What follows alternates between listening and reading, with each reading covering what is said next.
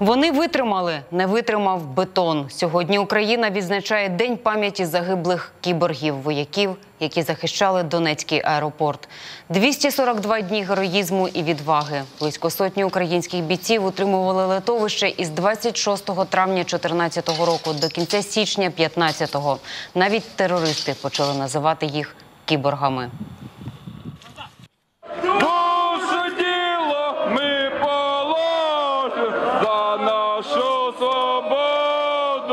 Нам страшно, но мы патроны набиваем. Аеропорт був важливою стратегічною точкою. Він давав змогу контролювати частину Донецька. Після численних невдалих спроб наступу бойовики за підтримки російських військових вирішили просто зрівняти термінали із землею. 13 січня впала диспетчерська вежа, завдяки якій кіборги коригували вогонь української артилерії. Ось башня розвалилася. Все, там вниз. Зрівняв.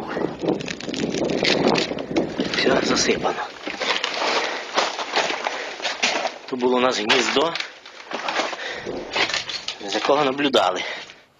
Згодом бойовики обвалили термінал, де залишались українські бійці. Останні 20 кіборгів покинули Донецький аеропорт лише 22 січня, коли позиції вже були зруйновані вщент.